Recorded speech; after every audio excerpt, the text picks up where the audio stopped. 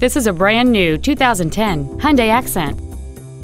It has a 1.6-liter four-cylinder engine and an automatic transmission.